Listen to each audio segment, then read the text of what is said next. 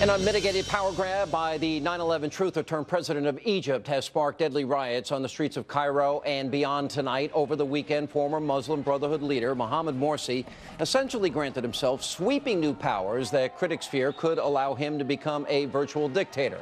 Now, while the White House continues to struggle to respond to this brash behavior from the Middle East's first elected Islamist president, well, we aren't exactly surprised by any of this. For months on end, we were sounding the alarm on this very program about the real threat posed by Morsi and his allies in the radical organization known as the Muslim Brotherhood. But of course, our president and his unwillingness to sit down and his willingness in cases to sit down with everybody and anybody well, he ignored the obvious warning signs, including Morsi's belief that 9 11 may have been an inside job and by the way, let's not forget, Morsi also referred to the Israelis as animals.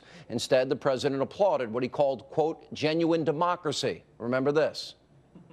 The people of Egypt have spoken, their voices have been heard, and Egypt will never be the same.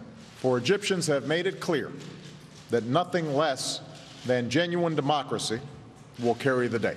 Well, wrong again. That genuine democracy that the president spoke of is now fading fast in Egypt, and sources have confirmed to Fox News that mobs are preparing to return to the streets of Cairo tomorrow for yet another day of demonstrations. Joining me now with more on this is Act for American President Brigitte Gabriel, and from the American Together Foundation, Michael Ghouse is back with us. You know, Michael. Good to be with you. Here's a guy that refers to the Israelis as animals supports Hamas in this latest conflict. The Hamas charter calls for the destruction of Israel. And you were on this program telling me everything's going to be fine. This is democracy. Now the radical Islamist has grabbed all the power, and Obama is giving him credibility. Now tell me you still support what happened in Tahrir Square is a good thing. Sean, you have been right on that particular issue. But I'm very hopeful about the Egyptian people. They're not going to let this radical Mohammed Morsi take over the power from He already them. has. He has called him himself, power. You, they've already lost. he has called him. He has called himself God. He has called himself a pharaoh. But you got three things against him, Sean. The military is against him. The, the jurists are against him. The protesters, the Egyptian people are against so him. So you're saying that? What, fact, so what are they going to rise up against him, assassinate him, get rid of him? I don't absolutely. see it. 200 people, uh, protesters are wounded in a demonstration against this Morsi guy. And I think it will continue. People will win at the end. I am very hopeful about that. Listen, they fought for this freedom. I share your hope. They're not just going to let they're not just going to let Morsi walk away with this.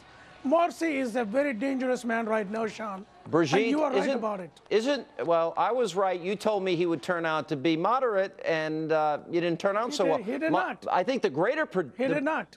Brigitte, I think the greater likelihood, tell me if I'm wrong, is that we're going to see people mowed down and oppressed that if they rise up against this radical Islamist. What's the more likely outcome? Eh, Uh, that's exactly what's going to happen. Those who are rising against him are going to be mowed down.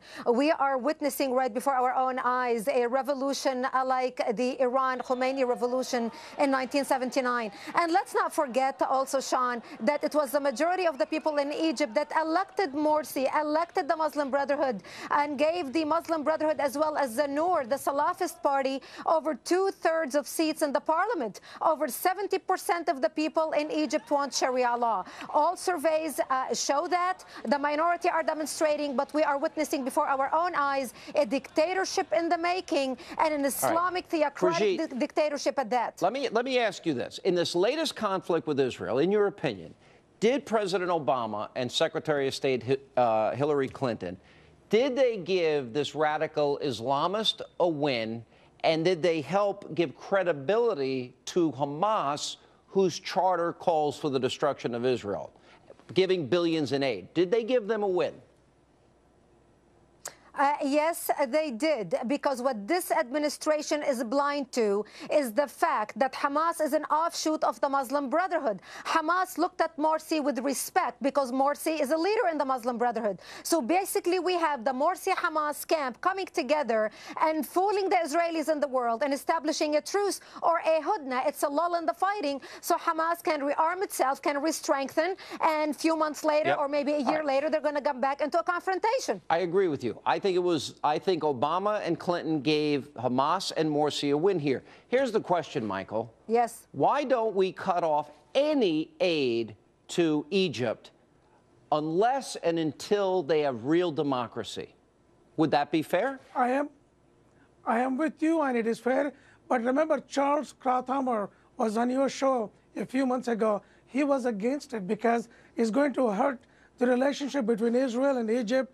It is from that point of view he was not in favor of that, and you agreed with him that time. And I am with you on that. We need to stop the aid if they don't behave. Well, they're not behaving. And Obama, But we need to stop Obama's it. sending we Hillary need to stop Clinton. and demand. yeah, go ahead. We need They're to not stop it and behaving, they're not listening, they are abusing the funds. I agree. Agree, Brigitte. And that's why we have a control. We can stop the funding and have them come to the Washington, D.C. and lay out the rules. These are the ground rules for you to receive the funding from us. If you don't do this, we are not going to give the funding. We're All right. not going to support you either. Guys, good to see you both. Our country needs the money more than Egypt.